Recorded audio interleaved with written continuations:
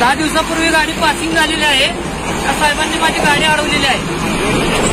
आणि online fine टाकत आहे रेट रिफ्लेक्ट नाही म्हणून?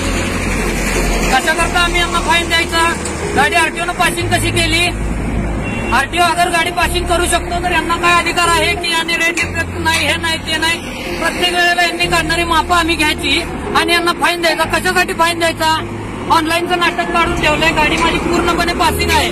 त्या साहेबांनी माझी गाडी धरलेली आहे आणि आता म्हणतात की ऑनलाईन फाईन भर म्हणून का मी फाईन भरायचा गाडीचा गाडी पासिंग का झाली? रेड रिफ्लेक्टर नाही तर आरटीओला कळत नाही का गाडी पासिंग करताना तिला रेड रिफ्लेक्टर आहे?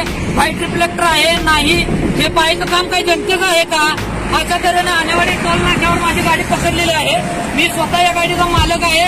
माझं लायसन आहे. लायसन काढून घेतलेलं आहे यांनी. यांना अधिकार कुणी दिला हा? कुणी दिला? हे जनतेचे प्रश्न कोण सोडवणार? कोण सोडवणार? हे पहा हा माझा लायसन आहे. हे यांनी लायसन घेतलेलं आहे.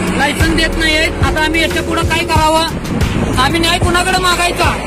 प्रत्येक वेळेला प्रत्येक टोल नाक्यावर आम्हाला जर असा त्रास होत असेल तर आम्ही कशा पद्धतीनं आम्ही सामोरे जायचं? कायद्याच्या कचाट्यात जबरदस्ती धरण्याचं काम हे चालू आहे. याच्यावर माझा पूर्णपणे आक्षेप आहे.